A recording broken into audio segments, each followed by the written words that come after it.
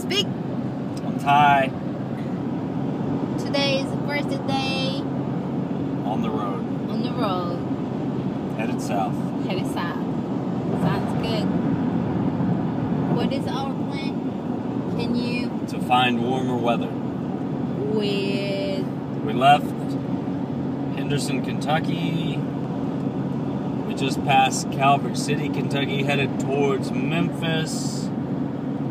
And then we'll continue on south, uh, somewhere around. In a half mile, continue onto US 45 bypass L.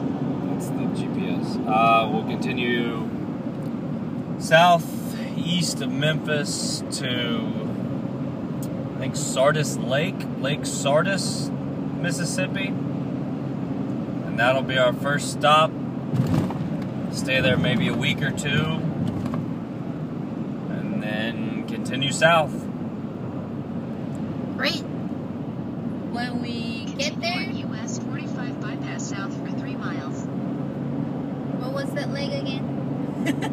I think Sardis? Sardis Lake or Lake Sardis?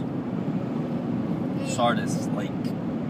Lake Sardis. We will see you there. One of the two.